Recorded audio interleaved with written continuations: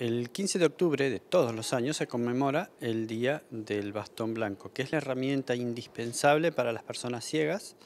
y de baja visión para poder andar por las veredas y andar solo, tener independencia. Eh, lo que hacemos desde el Servicio para Personas con Discapacidad Visual todos los años es crear conciencia en la comunidad